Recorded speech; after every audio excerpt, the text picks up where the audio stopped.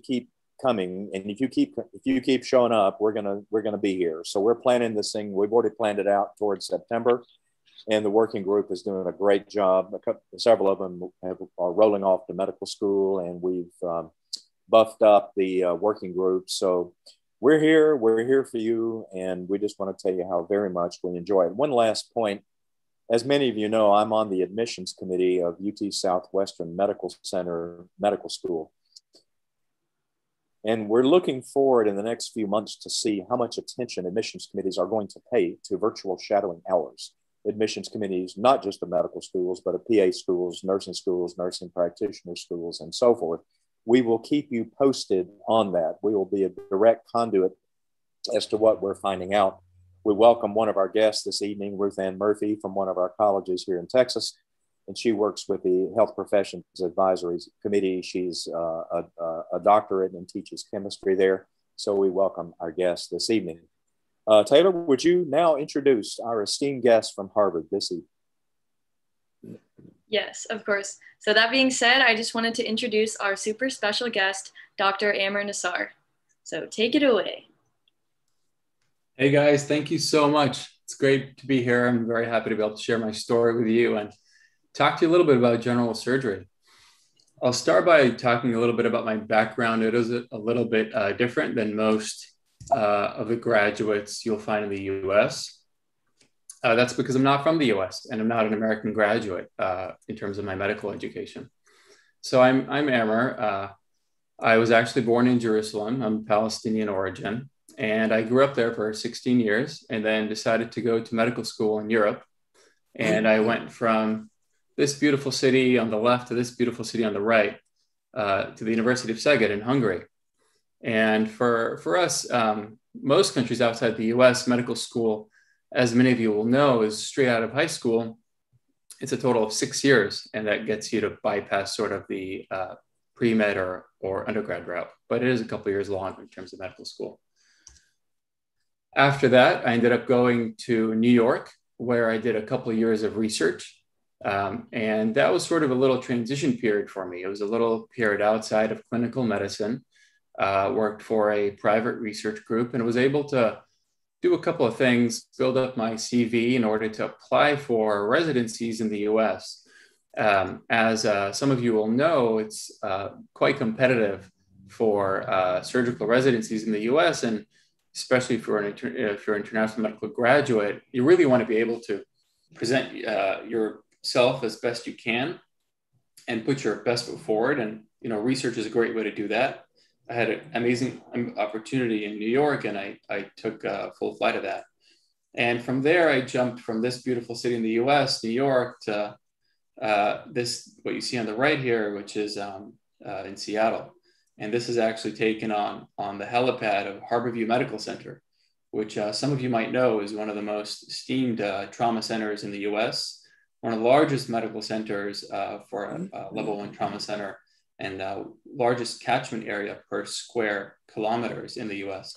And this was uh, actually- Amer, you know, uh, Seattle is one of the original EMS systems. EMS, which is my gig, uh, really began in America back in the 60s. And there were six cities that stood forward uh, Seattle, Miami, uh, Pittsburgh, uh, Los Angeles among them. And Seattle was one of the first original organized uh, pre hospital trauma systems uh, in the nation, meaning in the world. Go ahead. Yeah, I, I uh, I've definitely heard that story, and, and I think Seattle is very very proud of that history um, with their amazing EMS system. Um, and that still translates to today. We see a lot of patients who come to our, who I should say, who came to our trauma center when I was back there, uh, who were, you know, worked up very well. A lot of them were intubated. Some of them were even criked in the field. Uh, we can we can get into those details later, but I, am I'm, I'm, I'm very proud of, of the EMS uh, uh, system in, in Seattle. Um, and then from there, I jumped uh, a few uh, years later to this is um, a picture I took a few days ago walking to work. This is Harvard Medical School on my way to the campus in Longwood Medical Center at Boston Children's, uh, where I spend um, about six months uh, of my time the next few years training in plastic and reconstructive surgery. So, what does it take to become uh, a doctor? What does it take to become a surgeon? And uh, what's what's sort of the path? Um, as I said, you know, six years of medical school for anyone who's coming from outside the U.S. Uh, four years of undergrad and four years of medical school from anyone who's in the U.S. Uh, the last year of medical school in the U.S., uh, you'll mainly focus on completing sub-Is. Those are called sub-internships. For me, they were called clerkships, and that's an opportunity I got to travel around the world and complete different uh, uh, uh, rotations at different hospitals in different fields. I got lucky enough to go to London where I did my OB-GYN rotation. I went to Seoul at in Asan Medical Center. I did my cardiothoracic rotation. I came to Boston where I was at Harvard and I did my cardiology rotation. I did my PEDS GI rotation in New York and my pulmonology rotation at Providence at Brown. Uh, last year of medical school, obviously, there's a thesis defense that we have to do, uh, which is what how you get your doctorate uh, name and you get to call yourself a doctor. After that, uh, that's just the beginning of the road, unfortunately. then there's quite a few other steps you'll have to, uh, hoops you have to jump through to make your way to the US. These are the hoops I had to jump through. It's the same hoops that every American graduate has to jump through. It's completing these four major exams. There are actually three steps, but they're split up into four exams. The USMLE step one tests your basic knowledge in medicine, biochemistry, anatomy, etc. Uh, USMLE step two tests uh, your clinical knowledge in talking to patients and taking uh, physical uh, uh exams. Step two CK is a little bit more clinical knowledge, and step three is even more in-depth clinical knowledge. And all these exams are sort of mandatory to in order to get into training into the U.S. and become a doctor. A few things you have to sort hey, of. Hey, Amer, there was a question just asked. I, am forgive me for interrupting. It says does every medical school require a thesis defense at the end of the fourth year? Could you follow on to that? Because you explained that that was from overseas. Could you explain? Yeah, absolutely. Um, I, I'm, I'll, I'll, I'll, i might actually defer to you regarding the US, but internationally, it varies country by country. Um, a lot of countries will require a thesis in order to uh, graduate. Some countries, like Germany, don't actually require you to complete a thesis for graduation, but they do require you to complete a thesis if you want to call yourself a doctor. Um, and so, if you want to get the doctor title in countries like Germany, for example, you have to have a thesis completed and defended. And that doesn't have to be done in medical school. Actually, a lot of German physicians will complete their theses post graduation, sometimes up to years after they graduate. But in Hungary and a few other medical schools, uh, sorry, uh, countries around Europe and a few other countries around the world, then a thesis is uh, a mandatory mandatory step to, to, to get your diploma. What was your thesis on, um, Amer? My thesis was actually uh, in psychiatry. Um, uh, I was really interested in back back when I was in medical school uh, in neurology and psychiatry, and I completed my thesis uh, on the differences in delirium um, uh, compared to uh, um, psychosis. That, that's fascinating, especially in this era of excited delirium in the field that we deal with so much. As a matter of fact, we're excited delirium is so bad for us in the pre-hospital sector that we're actually putting out a new course called Advanced Mental Health Life Support, which we will do on um, Monday. It's a four-hour program. It's we're rolling it out, and you know, think new card course. You know, the world needs a new card course, right?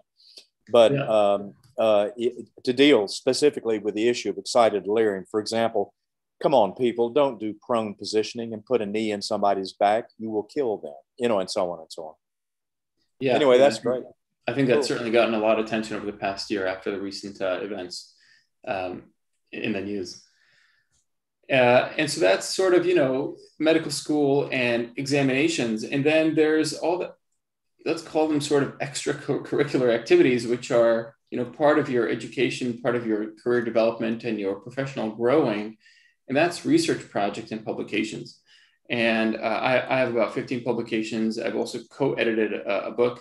Um, and those are just some of the things that I've done throughout my career in order to, you know, get where I am today. So applying to residency. Now you've finished medical school, uh, you've done all the steps and everything, you know, you've, you've buffed up your CV with a lot of research, a lot of interesting stuff you've worked on. How do you start training? well, this is where applying to residency comes in. This is what I had to go through, what every American graduate has to go through. First, you have to decide what you want to do and decide what, decide what your passion is. Hopefully, that's something you're working on for several years and building it up as you go along. And then you apply via the match. And the most important step is you pray that you get uh, into the field that you want to get into, into the place you want to get into. In my dreams came true. I hey, hey Amer, let me take that point for a moment. We started that way back in the first session, second and third session, saying if you're really thinking about medical school, it is a long, long way. And then you just made that important point that, you know, the, the chance you're taking about getting into the program that you want. You had what, 15 publications? Is that what you said?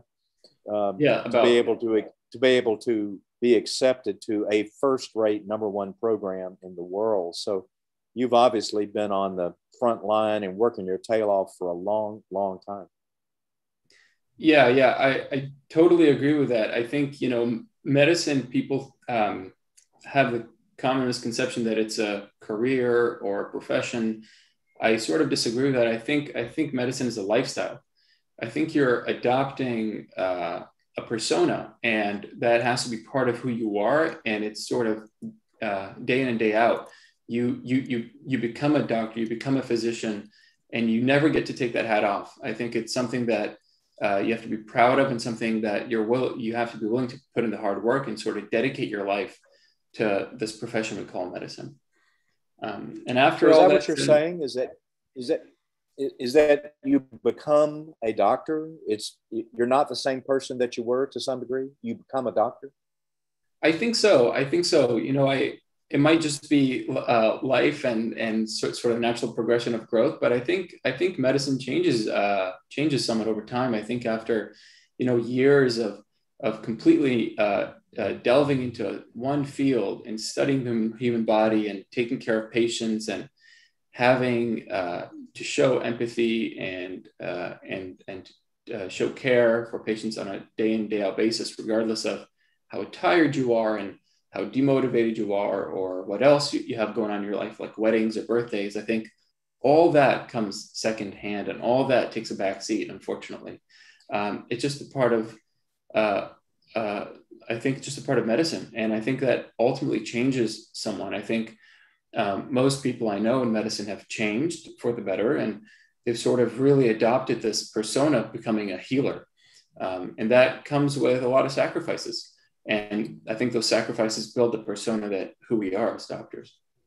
I love that, Amer. I, I love the way you put that. I, you know, you think when you were a kid and you were sick and your folks took you to the doctor and you see the doctor and that is the doctor. It's a it's a very special persona, and yet you mentioned the stresses. You're tired. Your feet are killing you. You got to pee. You're hungry. You're hypoglycemic and you know you're a human but at the same time you can't let up i've got to go to work at seven in the morning at parkland tomorrow and we're going to be full we're going to be boarding 50 for admissions in the er out of 110 beds we're going to be packed people in the hallways but you have to be committed to getting the right answer every single time you can't let up i'm sorry to be so dogmatic but i, I just feel very strongly about that no, I go ahead. Please, I completely agree with you. No, I, I think I completely agree with you, and, and, and, I love that you mentioned that. I even so, I'm actually post call today. But for those who don't know what that is, that means uh, I took call all night yesterday and uh, and all day yesterday, and and you know even after doing this for you know for nine plus years, I got called in at eh, you know late late hours of the night, early hours of the morning to Boston Children's because a kid had some pretty bad trauma to the face and no one wants to go into work at one, two, three in the morning. No one wants to go to work, but you have to. You have to get up and you have to go and do it. And not only that, when when you get there, the only thing that matters for that child and for the family is that you are there 100% and you are on your best game. And I think that ultimately defines what medicine and what surgery uh, are. It's that you have to be there for your patient all the time, at, at, essentially at any time of the day.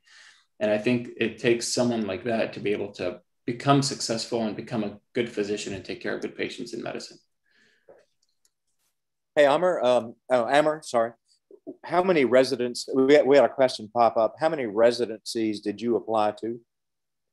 Uh, so for, for general surgery, I think I applied to uh, 25 or 30. I can't quite remember. It's, it's, it's been a few years. Wow.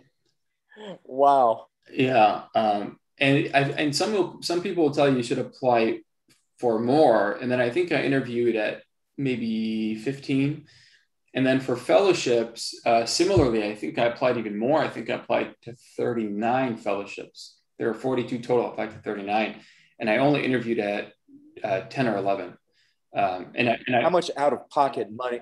How much out of pocket money did you spend for your uh, interviews? Oh gosh, you know, you, uh, I, I, actually calculated it because say, I submitted it. Let's say two or three thousand per because you had to travel. You know, if you include airfare and hotel, maybe not quite that much. Fifteen hundred times thirty was that forty five thousand dollars you spent applying to residencies, something like that? Yeah, I think the applications themselves were probably about five to six thousand dollars, and then then I only interviewed at fifteen places, and I think um, I got lucky in terms of hotels. Uh, I knew a lot of people on the track, so we'd like team up in rooms and stuff. I think I can't remember how much I spent for residency, but for fellowship, just a few last year, um, I had spent I think eight or eight to ten thousand um, dollars. you know, it's it's funny you mentioned that because people who are applying these days, it's completely free.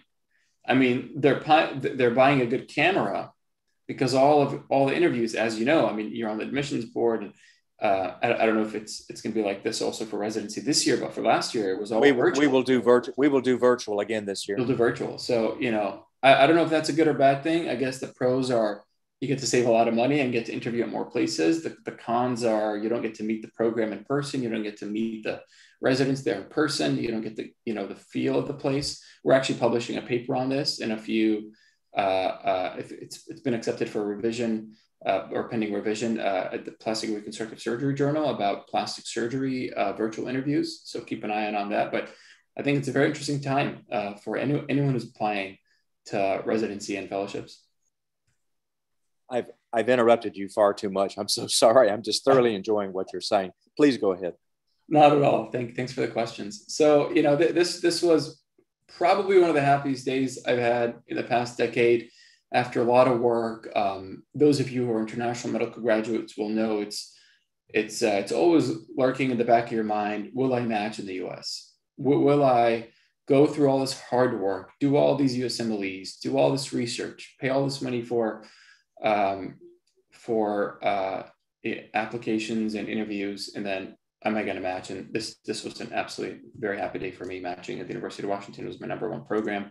Uh, and then, you know, after all that, sort of, you're still back at square one, starting surgical residency. I'm scratching my head, asking myself, what is surgical residency and how do I get through these next five years? Um, I did two years of research. I did five years of general surgery.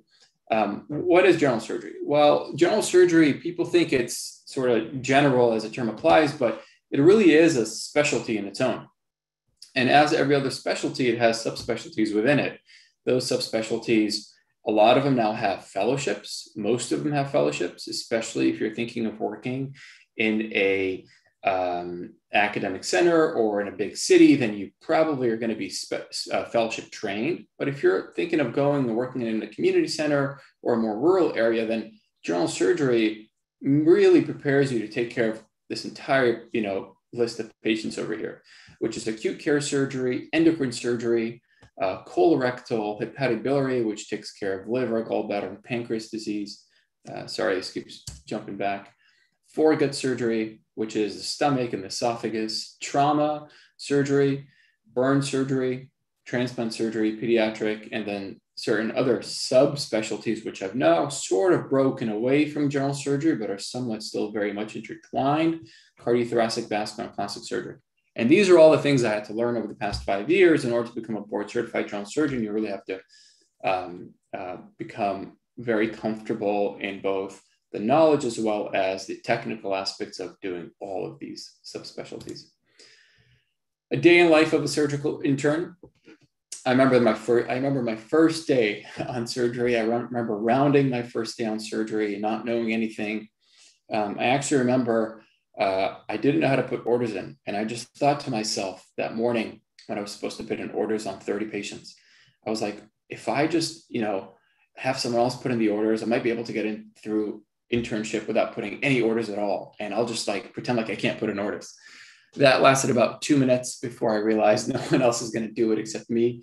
Um, and then I realized the most important thing for a good surgical intern or a good intern of any specialty is problem solving and adaptation. And if you sort of approach any problem in medicine as this is a problem, I'm going to find a solution. Not I, you know, I want someone to help me find a solution, but I'm going to find a solution.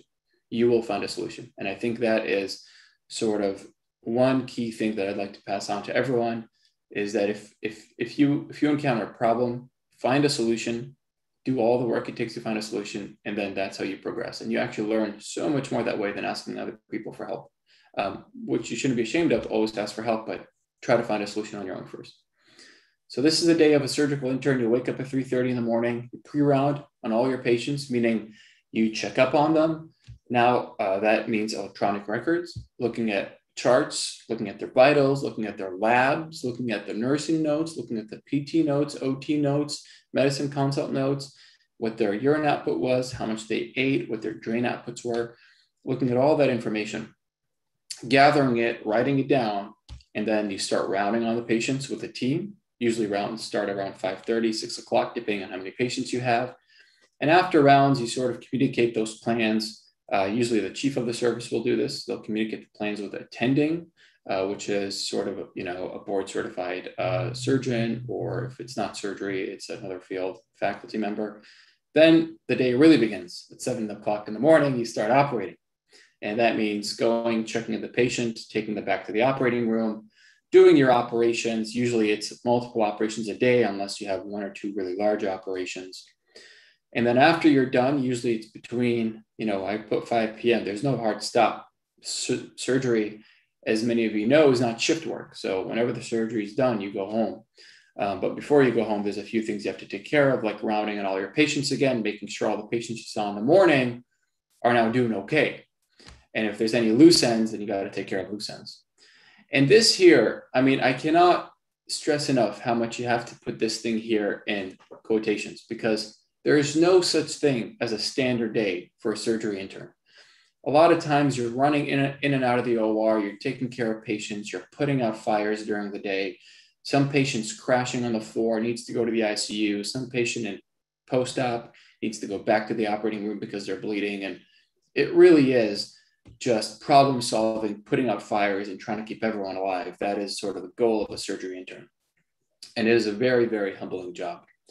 Um, this is another thing here I put in quotations finishing at 5 p.m. because as I quickly learned, surgeries don't have a, a determined end time. You finish the surgery whenever you've done the surgery.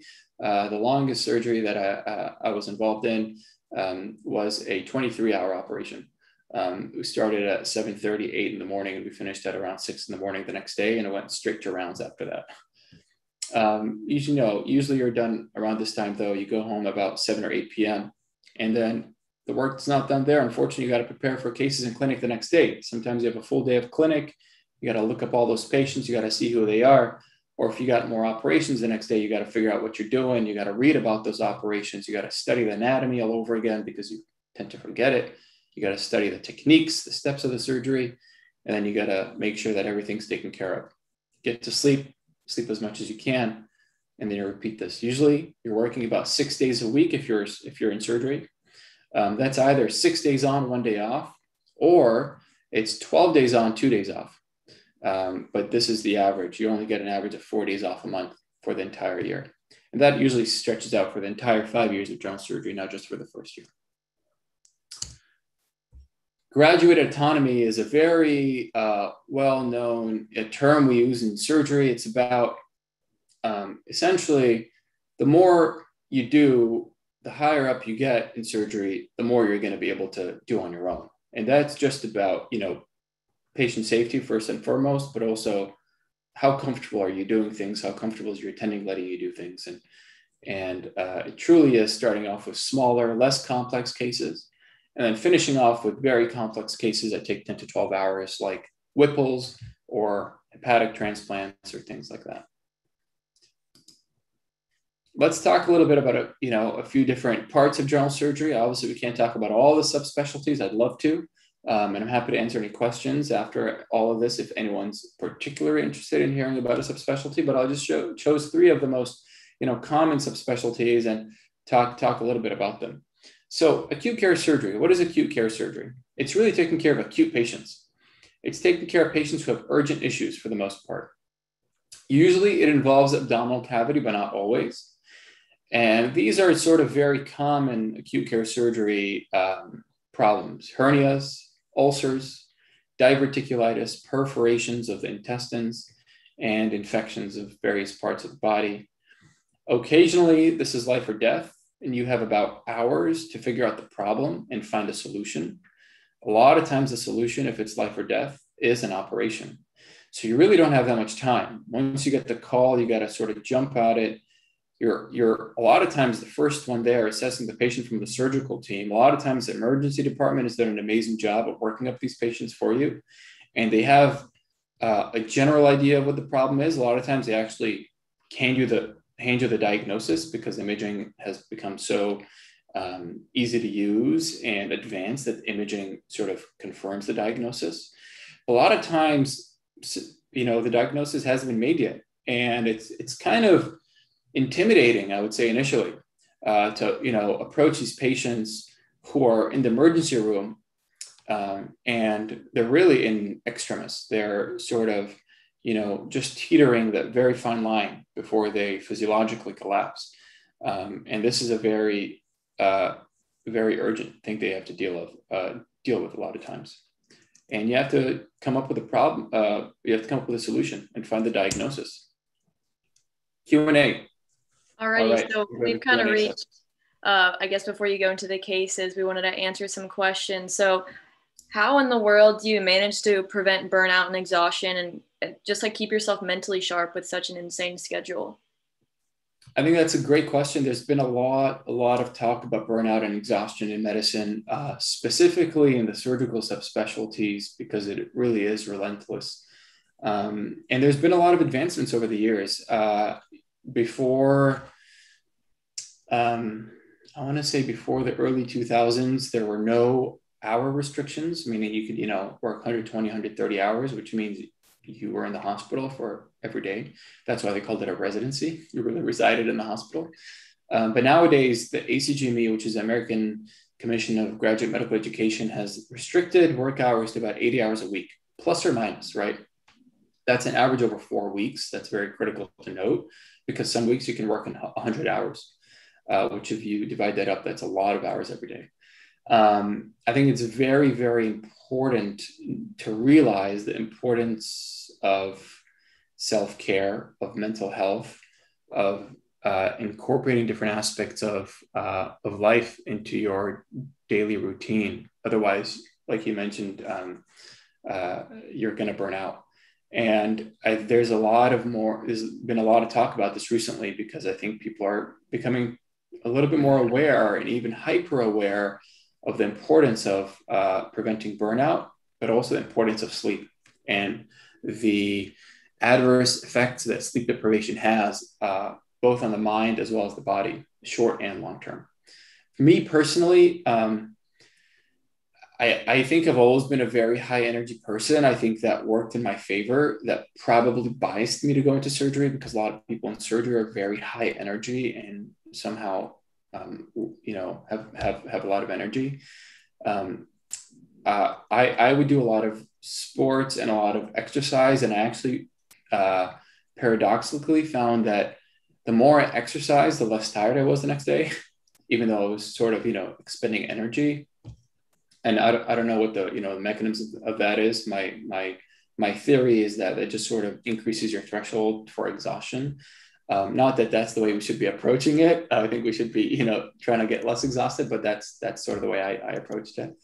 I think having friends and family is so important. Having a support system with your co-residents, co-fellows, you know, knowing the nurses, knowing the PAs, knowing the entire team, and being friendly with everyone is probably the most important thing. What I've realized is it's so much easier to go to work when you're working with friends and you're actually going and sort of, you know, uh, enjoying your day-to-day interactions than it is if it, you're, you're just you're thinking of it as a job and you just want to get out of there because then it, it really does become exhausting both mentally and physically. Well, well you know Amer that's that's so true. You know i uh i'll be 69 in november. I've been working 44 years. My retirement's paid in. I'm on social security. I could quit now but what would i do for one thing? I would go home forget medicine and get stupid. But then what you said i'm working with the best friends of my life why in the world would I not want to be around my best friends that I love working with? You know, you know what I mean? Yeah, yeah. i I definitely felt that a lot last year when I graduated from general surgery and had to leave these, my colleagues. I mean, we were soldiers together, you know, we were in the trenches working, you know, 36 hour shifts, doing 12 to 24 hour operations, rounding on 60 patients, just being exhausted, uh, crying together, having fun together and all of a sudden I had, to, I had to leave these guys and I had to move across the country. And we all left and went somewhere else for our fellowships. But it, it's like you said these these people become your friends and family. And it's very hard to leave them. So i got a question. What do you do during a long surgery when you have to pee? Um, it's funny actually. Um, a lot of you know I, I realized I that's this is really not good, but I, I actually only pee twice a day. I pee when I wake up and I pee before I go to sleep. And that's not a sign of anything except dehydration.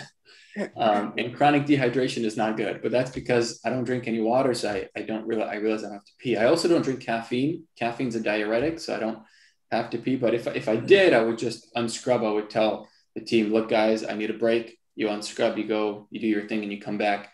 But um, that's a good point because it, it really stresses uh, what surgery, once you're scrubbed in, and if it's two or three, five in the morning, it doesn't matter. You're so hyper focused on your task and the adrenaline is rushing mm-hmm. so much that you sort of forget everything around you. You forget about your body.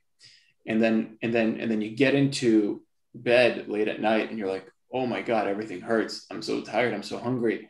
My neck hurts. My feet hurt. And, and that's, that's the, that's the bad side of surgery. That's the part where we sort of abuse our bodies a little bit.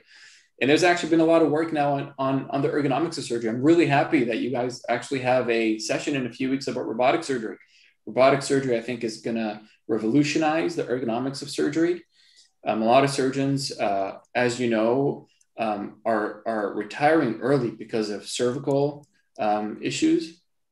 You're standing like this all day in a very, very bad position, um, you know, trying to look under things, and you're just, your neck is never in a good place, your back's never going to in a good place. And and a lot of a lot of surgeons retire early. I think the advancements in robotics and laparoscopic surgery hopefully uh, will do wonders for for the ergonomics of, of a surgeon's body. It's crazy.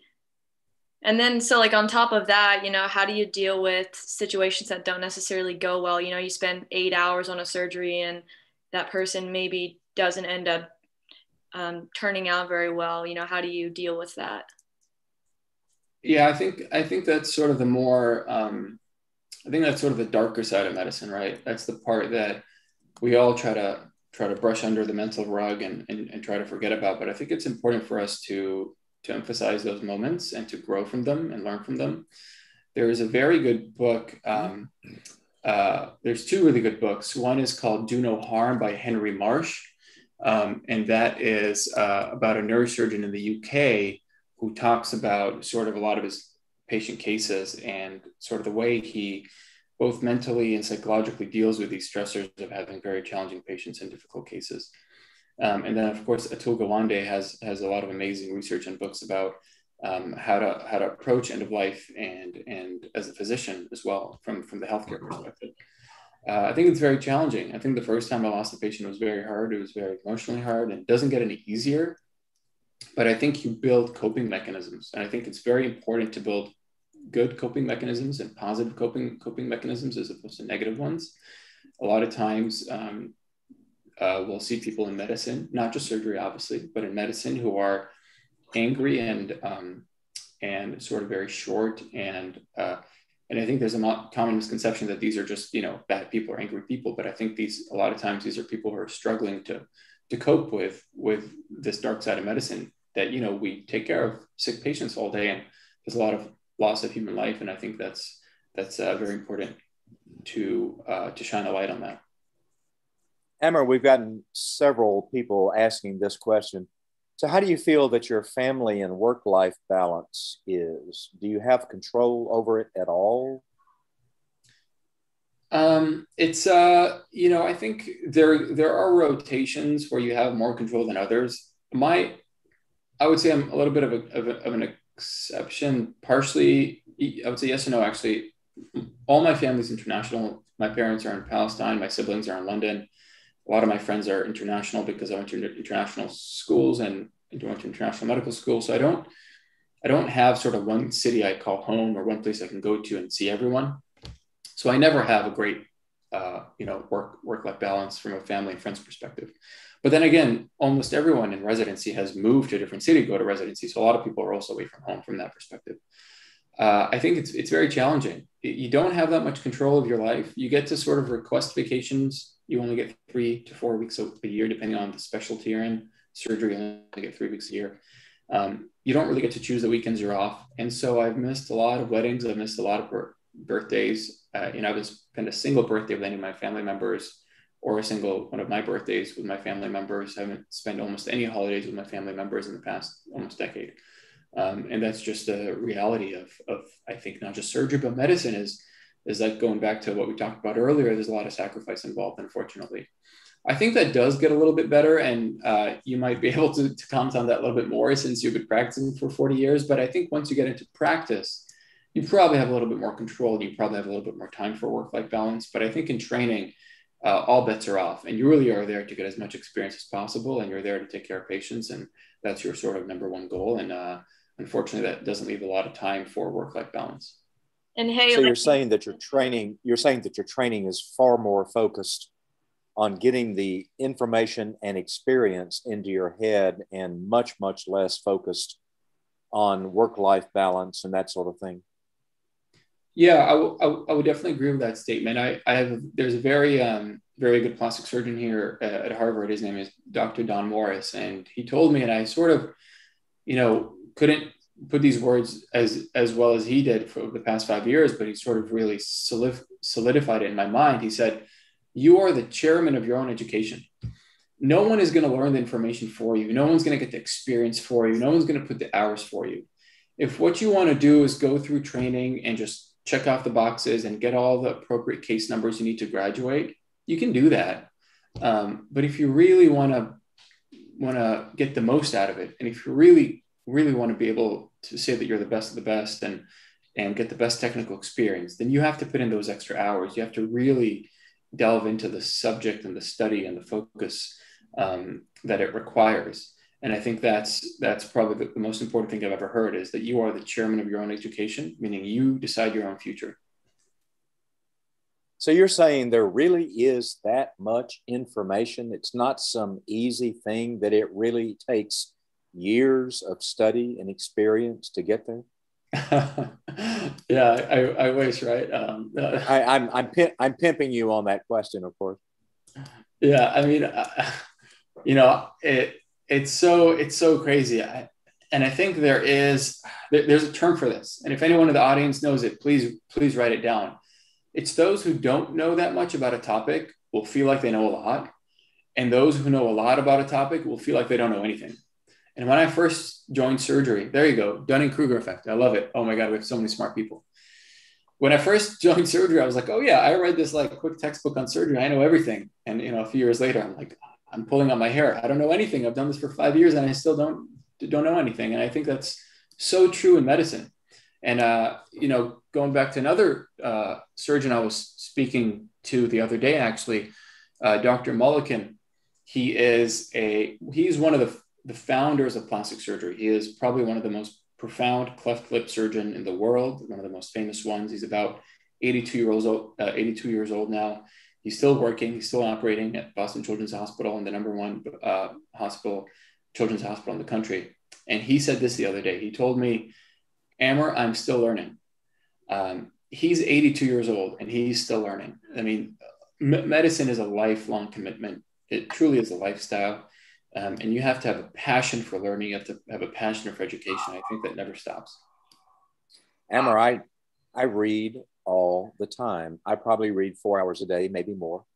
uh, and I don't even have a smartphone. You know, I uh, is in my field, emergency medicine, we see the emergent aspects of everything from toenails to scalp, uh, age, gender, all languages. I'm frequently doing an H and P in Mandarin, you know, and um, and experience has a great deal to do with number one being honest about what you don't know, uh, and then number two is that the risk.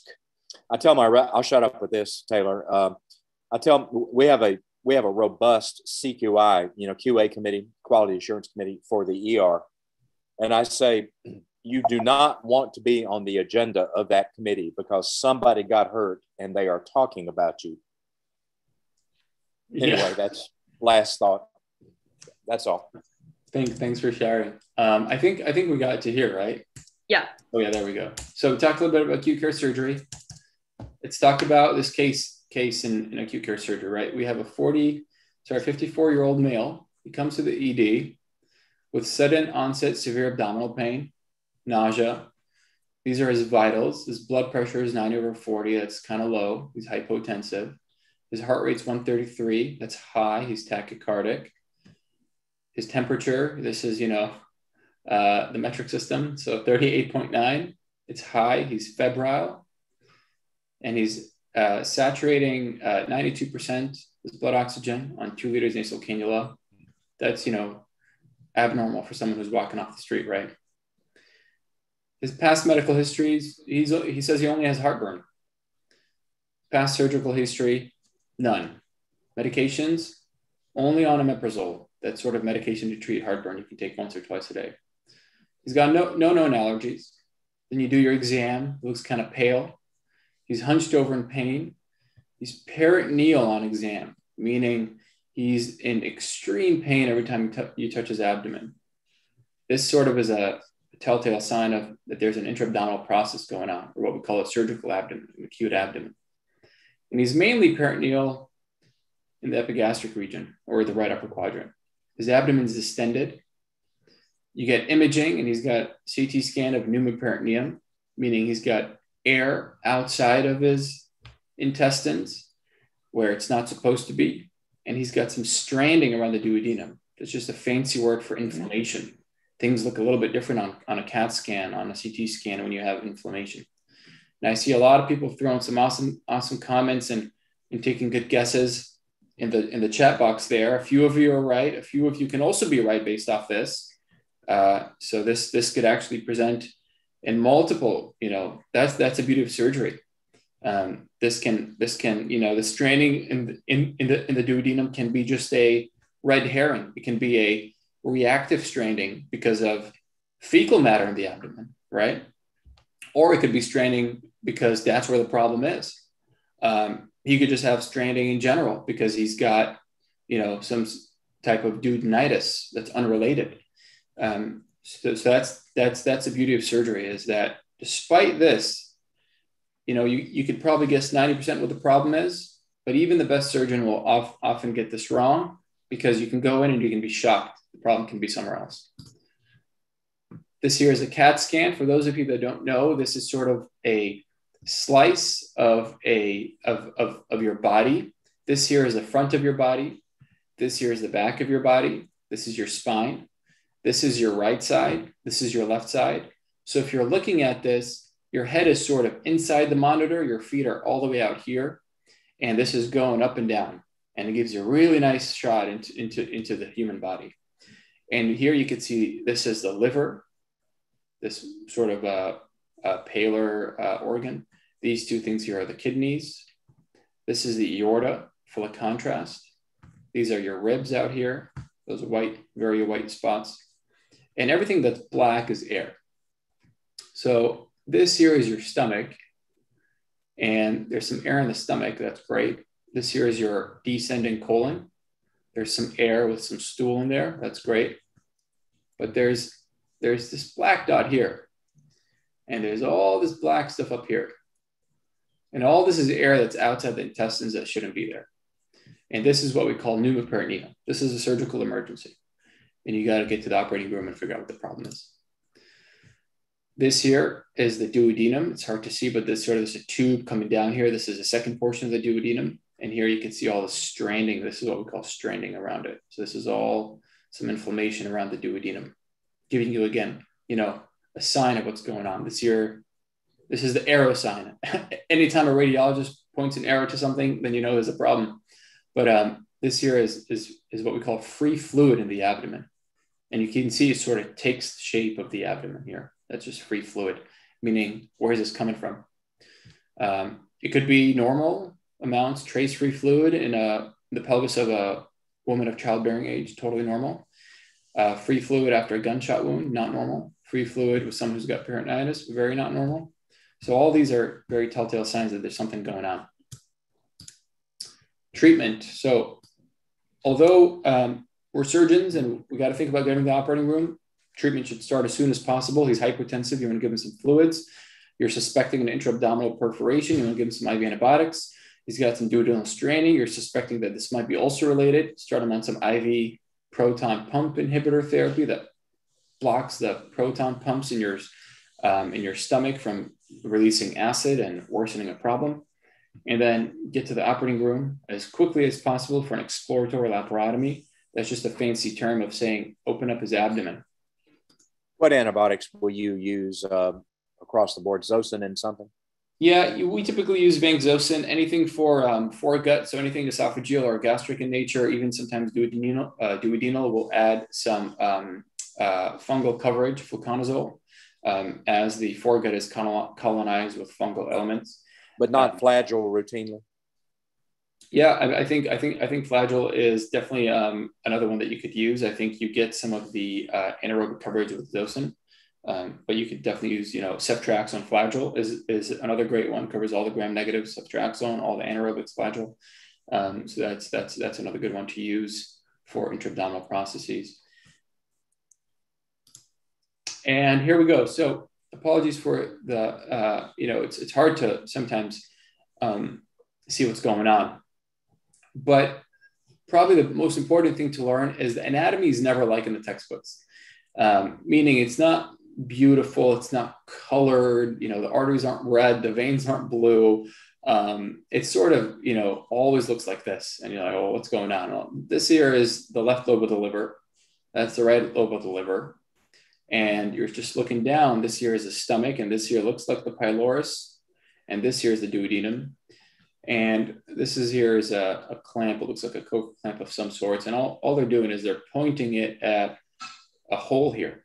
And this is a hole in the duodenum. So this is perforated duodenal ulcer, meaning the patient had an ulcer, perforated, spilled all this contents. Sorry again, spilled all this intra-abdominal contents, and now he is, uh, you know, in septic shock because of this.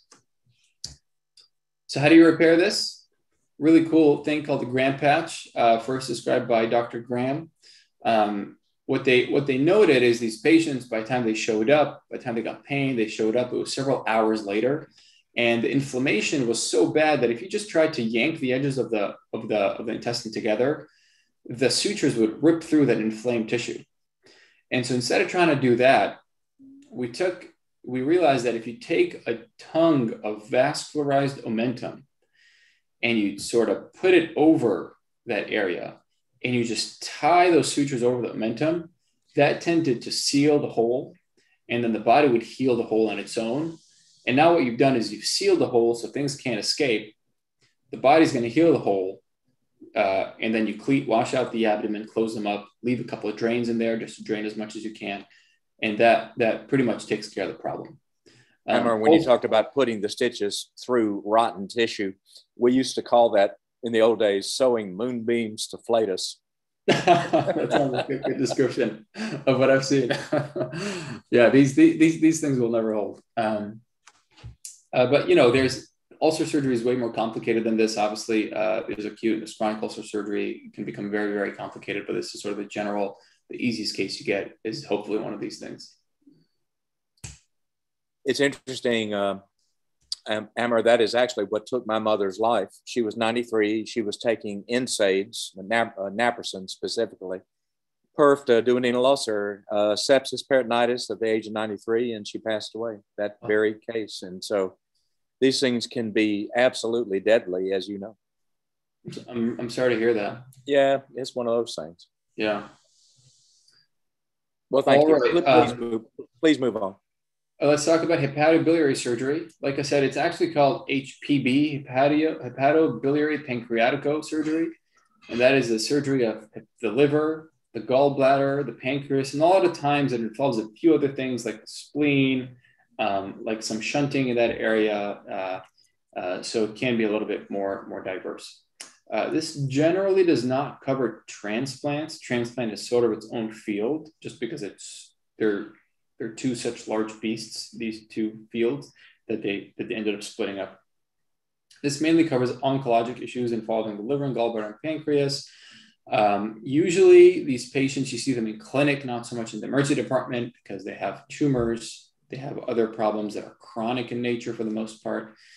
They're usually worked up in a multidisciplinary setting, meaning you have uh, medical oncologists, radiation oncologists, geneticists all working to work these patients up, sometimes the GI team as well, the gastroenterology team from the medicine perspective, helping you with diagnostics and sometimes therapeutics.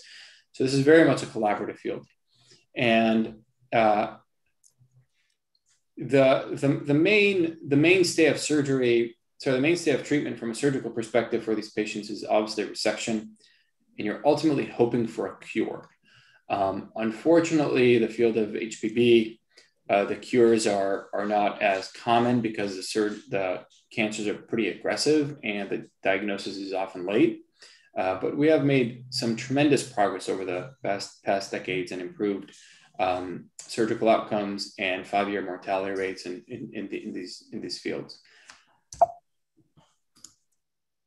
This is another case study here. Let's talk about a 49 year old female with worsening abdominal pain over the course of six to 12 months that has uh, an increasing abdominal girth, just meaning she's, you know, getting her abdomen's getting bigger and bigger. Uh, she presents to your clinic with the following findings on a CAT scan. You know, obviously she came into the CAT scan, meaning she probably saw someone, that someone, usually a PCP or sometimes the emer- emergency room, got a CAT scan, they found a problem, and they send them to you. And you see this on the CAT scan. So, like we talked about, front side of the body, back side of the body, right, left. This is a liver here. And you can see this massive thing. Oh, massive right. thing here in the liver. Clearly, something oh, going on, yeah. right? Um, and then uh, we diagnosed her with a hepatic adenoma an adenoma is an abnormal growth in the liver. There are different types of hepatic tumors. Adenomas tend to be uh, non-malignant in nature, but they have a propensity, especially when they're larger, to progress to, to malignancy, or sometimes they can even rupture and bleed, um, and that can cause hemorrhagic shock. So the majority of these patients will get this resected unless it's under a certain size requirement or it's pretty stable over the course of several years. But something like this, you'll get it resected. So we Went to the operating room. This is me and Dr. Yeung at the University of Washington. He's one of the most senior HPB surgeons there, amazing surgeon. And this is the size of a tumor in an otherwise young, healthy woman. I mean, this thing was just sitting in her liver for years and years.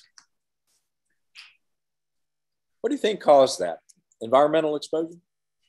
Um, there, there is there's some literature on or, um, uh, oral contraceptives that, that will that will cause these. I think a lot of times that is actually uh, uh, you know what came first, the chicken or the egg, or are they just causing them to get larger, or are they really causing them to form de novo?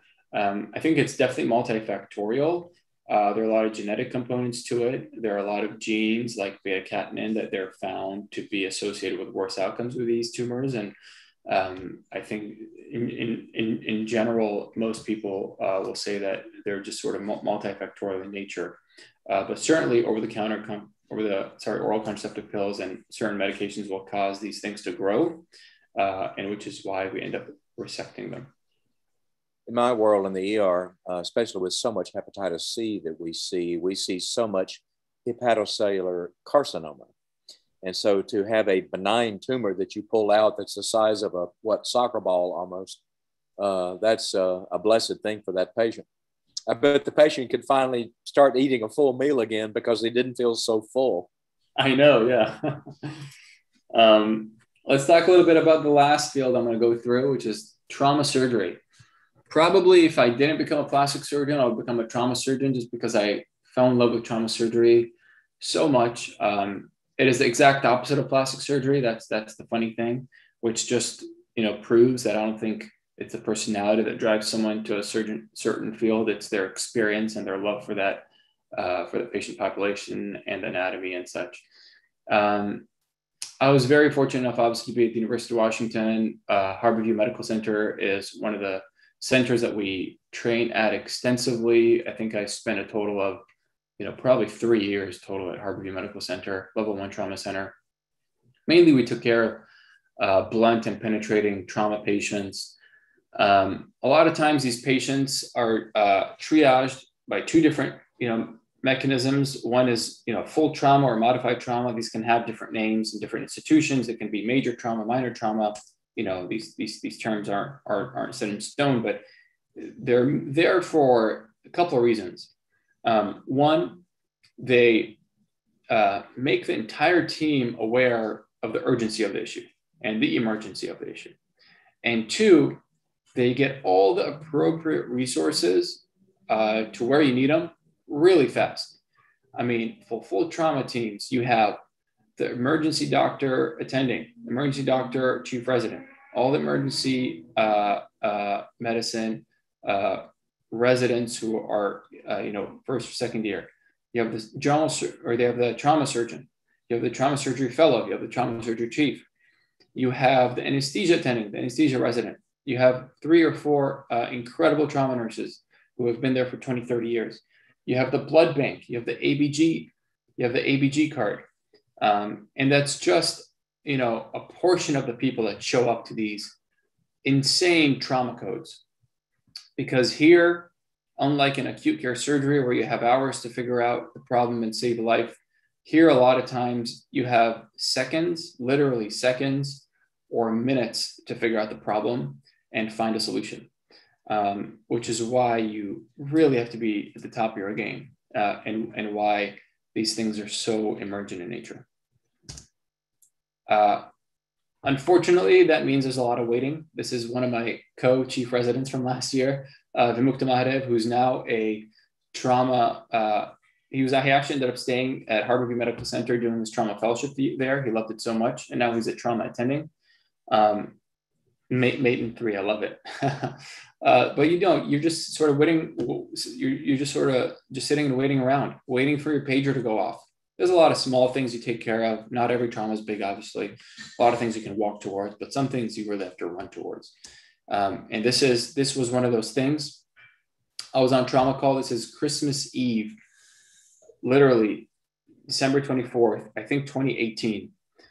Um, when I got full four full trauma codes within eight minutes one gunshot to the neck, three multiple stab wounds to the chest and neck, 22 hours down into my shift, eight hours to go, 312 in the morning. Um, this was, I think it was a guy who uh, got pissed off at his roommates, um, shot one of them, stabbed three others, or maybe I think I think he stabbed three others and then maybe shot himself in the neck, or or something of that nature. And you know, all these four people full trauma codes, three in the morning, you're exhausted. Um, they all come in at once. All of a sudden, you go from this massive team to almost, you know, this is a mass casualty, uh, where you really, the most important thing here, the most important thing is uh, communication, dividing up your resources, and triaging who's the most acute, who's the least acute, who's going to die in a few minutes, seconds, who's going to die in a few minutes, who's going to make it through the night and can wait. Um, this is what the end of a trauma code will often look like. I think these are my shoes over here. Um, this you know, I have a picture at Parkland similar to this where we took the whole room and every single thing, everything in that picture you're showing was a moment to try to save a life, some effort to save a life. Yeah, that is that is so true. It is it is I I, I think trauma surgery is sort of a lot of people will say it's um you know it's very rough and tough and uh, it's not finesse. I completely disagree. I think trauma surgery is the pinnacle of medicine, not only from a, a time perspective, you have seconds or minutes, but also the amount of coordination, teamwork, and communication it takes to save a life, as you can see here, you are doing everything you can using the most amazing technology, the most you know accurate diagnostics uh, that you have at hand within those few seconds to make that diagnosis and try to save a life. I think it really exemplifies modern medicine and the importance of teamwork and an organized structural response to a critical patient in order to try to save a life.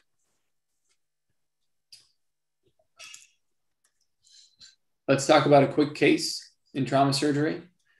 28 year old male, gunshot wound to the face. He got criked in the field. That's a fancy way to say cricothyroidotomy, meaning, um, you know, again, as we talked about, our, our EMS team is so amazing in the field here that they're comfortable enough doing crikes where they put a tube um, into the neck, straight into the airway. Um, a lot of times because they can't get an oral airway in an oral endotracheal tube or any, any other type of tube. Um, here, clearly, it was probably because he, there was a gunshot wound to the face. And usually, this presents in a way itself in two ways. I'm usually either hanging out down in the emergency department um, just because all my friends are down there, my colleagues are down there, we're having fun, waiting for things to happen.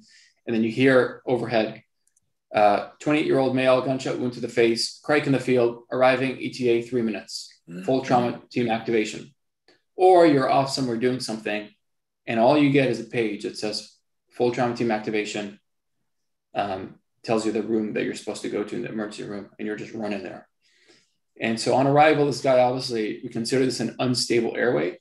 An unstable airway is the scariest thing in medicine. Uh, as a note, I should say that trauma surgeons are probably the most, um, the calmest and the most self composed surgeons I've met in my career uh, for the most part.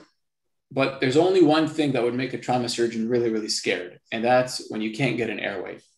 And that didn't sort of, first I was like, why are you so scared? Just get an airway. But then I realized it's because it's such an acute problem and it's such a difficult problem to solve. And a lot of times it's why patients unfortunately die. Um, it's because you can't get an airway. And so this is a really, really scary, scary thing when you have an unstable airway. Fortunately, and for the, student, has, for the students here, for the students here, what uh, Amer had to do was take him to the operating room to go through the neck to get an airway because you couldn't get to the airway through the mouth. Exactly, and then Im- imagine imagine holding your breath and not being able to breathe. Now that's how long you have before the patient dies, right? So um, luckily, this patient came into the crike, so they're somewhat getting some oxygen in, but they had a they had their whole face blown up they're still sad and well. But one more, you know, thing to keep it interesting. This was last year in February. Patient was COVID nineteen positive, um, and so, you know, we still got to do what you got to do. We crashed into the emergency room uh, for tracheostomy, uh, meaning converting this unstable airway into a stable airway. They're both going through the neck, but one is stable, meaning it's reliable. Um, and we actually ended up being the first uh, team in the United States to perform an operation on a COVID positive patient. Uh, as you know, Seattle was the first hit city in the US, um, and uh, we implemented um, an amazing response to COVID patients where, uh, even though this was the first time we did it, this actual picture here showing the first surgery that we ever did on a COVID positive patient, it was so smooth. Um, and it worked so well. And that's because everything was set up beforehand the system that a level one trauma center works with is so complex and so intricate, and the details are so fine that they're able to take this unknown and convert it into sort of a reliable outcome. Very, very proud of Harborview uh, for, uh, for their. Yeah, Amer, let me let me comment on this. Uh, Seattle was ground zero for COVID in America. It's where it showed up first, and at this particular picture, these folks have taken care of a patient with a disease that this, the medical staff here did not know if this was sufficient protection to keep them from dying of that problem. And in spite of that, they took care of the patient anyway. Uh, were you scared a little bit, uh, that uh, it might not be enough? Yeah, you know, I think I, th- I, think back then people were talking about a mortality rate, a mortality rate of 10%, you know, just because, you know, I think the, the diagnosis was still, um, the actual prevalence was unknown. And so the mortality rate showed up really high and it was scary. And, and if you think about where COVID lives, I mean, it lives in the airway. And here we are rushing this person to the OR who has a problem with his airway. And we're trying to operate on the airway on a COVID positive patient in something that we'd never done before, the country hadn't done before. And so definitely a scary moment. Um, but you know, I think that's just you know where the adrenaline kicks in. You just you just got to do what you got to do. And I think it's important to note that this looks like a nice, clean, quiet room because there's only five of us in here. This was truly just you know I was a chief resident on trauma surgery. This is a circulating nurse, meaning she's grabbing everything for the operating nurse or the scrub tech. This is the anesthesia attending, and this is a trauma surgeon right here. And usually there's at least double or triple the amount of people in the room. And here we had the bone essentials, like the minimum, you had the minimal amount of people necessary to do this operation um, is what we were allowed. Um, but fortunately, knock on wood, it went well. The patient did fine uh, and they survived. Amer, uh, on behalf of the whole group and all 300 that are hanging on every word you are a hero and your team are heroes. Oh, so thank, thank you. you. Everybody put a thank you, uh, Dr. Nassar, uh, into chat and thank him for his service. Uh, this was absolutely amazing, and uh, we are honored that you would share this with us. Absolutely, and it's just honestly just another day of the job. Um, yeah. This is this is this so this is this is all I have for today. I'm obviously happy to answer any more questions. Uh, we can do another Q and A, and I think we have a quiz to get to after that. Okay, yeah. So I guess uh, something that I was seeing in the questions is so how do you prepare yourself for any kind of situation? You know, you don't. Sometimes it's your first time dealing with that case. Are you just kind of relying on the teamwork effort of somebody knowing what's like how to do it, or do you just go off what you learned? You know. Um, you know, I think it definitely depends on the case and the acuity of the situation. You know, if it's a scheduled case, then you have a lot of time to prep for it. You have a lot of time to read about that patient, learn who they are, learn the anatomy, learn the operation, learn the techniques. And that comes from inside. You have to have the drive to get home at night and open the books. After, you know, a 12 to 14 hour day, you got to get home and you got to study, even as a doctor, even as a surgeon. Um, and that that's that's the importance of continuing your education. And I think you know the first time I did a gallbladder, for example, um, I had nothing, I didn't know anything about it. But then the hundredth time I did it, you know, the reading becomes a little bit less and less, and you're just maybe fine tuning a few points. Uh, th- this is a training program as well, so there's always someone there. If I'm an intern or I'm, I'm a second year or a third year, there's always someone higher than me, a fourth year, a fifth year, and ultimately an attending that I can always reach out to and ask for questions and ask for their help. And we're always under the supervision of attendings, which is great. Um, and ultimately, that's probably the best source of, of, of, of, of education. But you really have to um, go in there and know your know your theory at least, because if you don't know your theory, it's very hard to build uh, experience on top of that. Having said that, I don't think you can learn surgery or any field in medicine out of a book. I think there's a common uh, saying. Uh, I'm probably going to completely butcher it, but um, it's, it's, something about you know you could study the sea or, or study sailing all you want, but um, if you've never been out to sea and you've never sailed, then you're not truly uh, a sailor. Um, and truly being out there on the water, um, pulling the ropes and lifting the sails uh, is probably the best way to learn but you really have to have the fundamental knowledge and the theory behind it all. The way I heard that was um, uh, he who sails without a map sails an uncharted sea, but he who studies maps alone has never been to sea at all. There you go. I love it. Something like hey, hey, Amer, uh, Amer, by the way, uh, you need to come down to Dallas. We'll get you some gallstones down here, son. I'd love to. We are Texas is the gallstone capital of the world. It has to do with genetics, and uh, especially in our Hispanic population, we see every complication of biliary tract disease down here. Oh wow! Oh yeah. Okay, so I guess, love to come um, for a visit. something that I was going to say. So, what tips would you recommend for people who are interested in surgery or just interested in medicine, or I guess maybe something you wish you would have started earlier or just known before? Yeah, I think I think that's probably an entire talk on its own. Really, um, trying to prep people for uh, getting to where they want to get to. Um, you know, I think I think there is there's a part of me that loves this notion, a part of me that hates this notion um, of what I'm gonna what I'm about to say next. Is that the earlier you start or decide on your career, the more time you have to buff up your CV and get there. Because a lot of times it's about CV, right? Like you're matching into a medical school or you're matching into a residency or a fellowship. A lot of it is about your CV. Um, and if you know that you want to go into medicine since you're four years old, then you can probably work on that over the course of your entire life to build up your CV. If you know you want to go into surgery from your first year medical school, you can spend your second year, third year, fourth year medical school working on that. You can do research, you can get to know everyone. The part of me that doesn't like that notion is that you're deciding early on before you even have the opportunity to rotate on all the services and that's the that's those are sort of the advantages and and and and the disadvantages of deciding early the advantage is you get to really like focus on this field learn as much as you can do research do extracurricular activities join all these societies go to all these meetings face to face with people and hopefully that'll improve your application the downside is you're sort of ignoring all the rest of the medicine which is so beautiful um, and actually it's so useful there's so much i learn uh, so much I do on a daily basis, even now as a plastic surgery fellow, that I learned in medical school or I learned on a rotation doing, you know, random X, Y, and Z. Um, because it's so important to be a well-rounded physician and not just be a super specialist at the end of the day.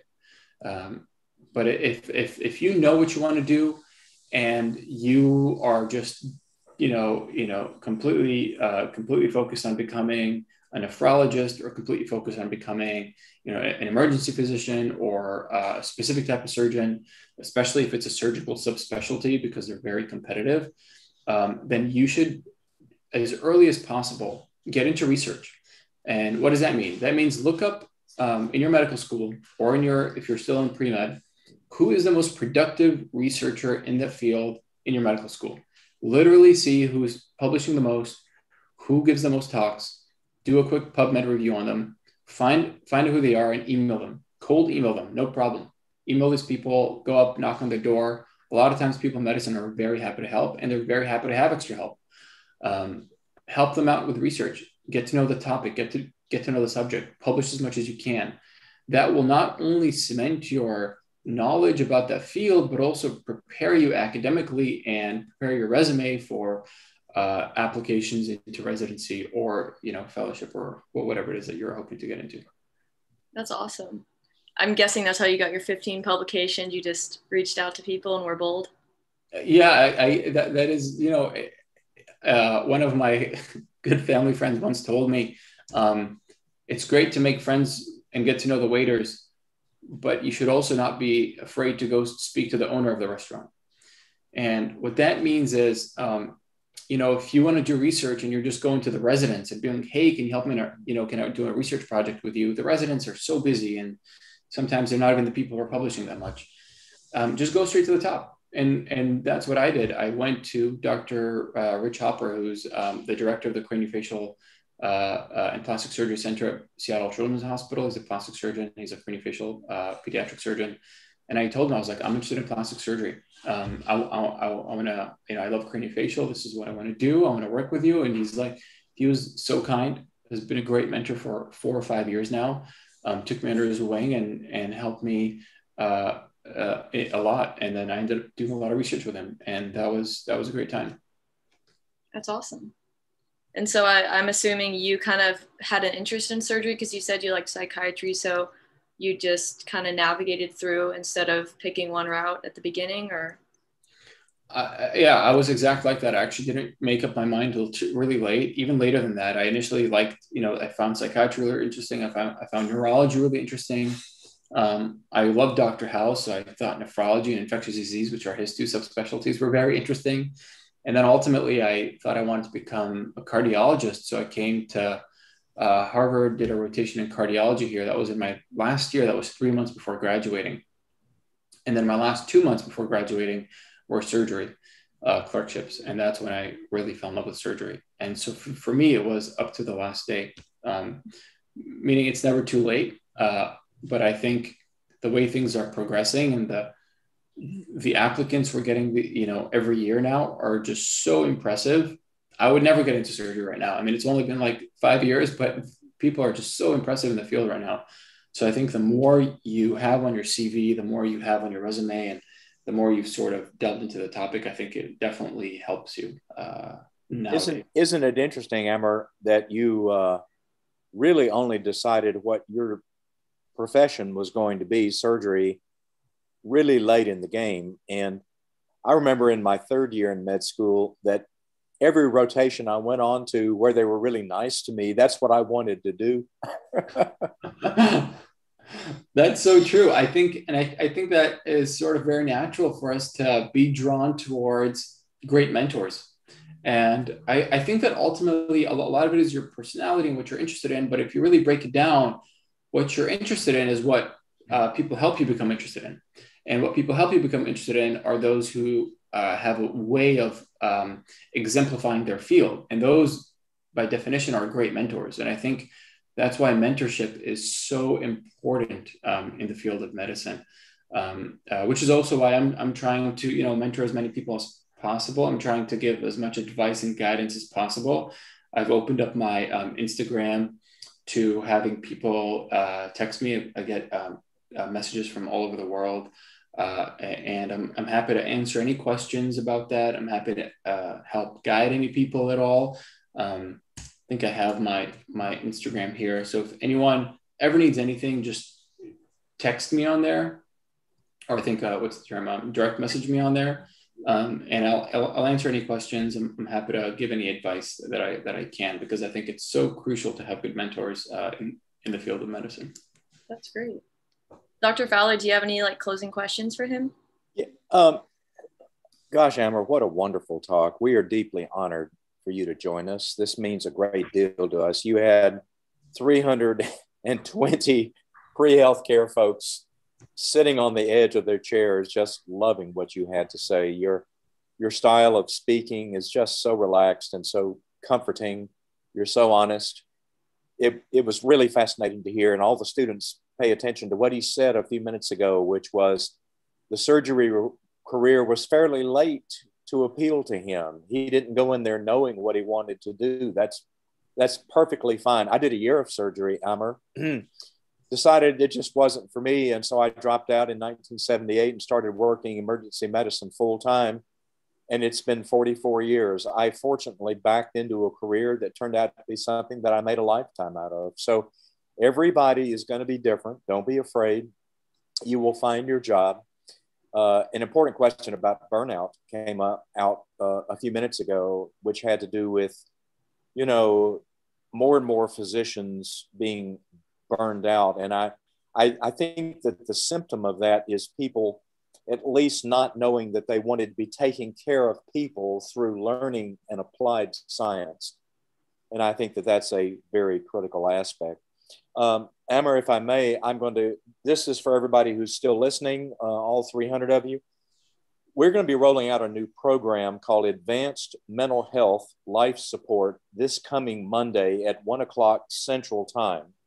Um, it is a four hour program that's free. I'm putting the link to it in chat right now that you can sign up to register. And why don't you join us? It is a new course designed to help recognize and manage excited delirium in the field, including appropriate positioning of the patient. We saw what happened in the terrible George Floyd thing, where prone positioning with a knee in the back kills people. And so we're going to address all those things. You're more than welcome to come. And uh, uh, the link to it is in chat. All you have to do is sign up. We have 300 seats available. Uh, I think about 50 are taken, so you're more than welcome to join us. Amer, thank you for joining us. Uh, thank you all who were with us this evening, you wonderful students. Um, as we've said, if you keep coming back on virtual shadowing, we're going to be here for you. So, um, and let's see, uh, Taylor, do you have a link uh, for the exam for this evening? Uh, it's on the next slide, I believe. And so this is for assessment 60. It's going to be due next Wednesday at 6:59 p.m. right before the next session. And so just be sure to get um, get to that sometime before then. You have two attempts to get at least a 70, so you can get your certificate. And that's it. And and and Amer, I will say in closing that you said something really important. When you go to the restaurant, not only get to know the waiters and servers, but get to know the um, get to know the uh, owner of the restaurant as well. But but I would also add, get to know your bartender really well, you know, be on, on a first name basis. And several members of the working group and I will be in the bar. It's a very civilized thing is that the faculty club at UT Southwestern turns into a bar at four o'clock. Melvin is the bartender. And so we will be having a Melvin moment on Thursday afternoon. So thank you everybody for coming. Uh, Amer, again, I can't thank you enough. And on behalf of the whole working group for virtual shadowing, uh, everybody pop one last thank you, Dr. Nassar, into, into chat for just thanking one last time. Amer, take a look at chat. Let's have about 200 thank yous come through. oh my God. Well, thank you all very much. Thank you, Dr. Fowler. Right? Thank you so much, Taylor, for, uh, for organizing. Guys, I really, really uh, enjoyed this. It's been an honor to speak here, and I'm really looking forward to next month where I'll be able to talk a little bit about plastic surgery. We cannot wait. And on behalf of the whole team, we wish you a good evening and a good night. Thank you, everybody. Good night. Good night, everyone. Bye.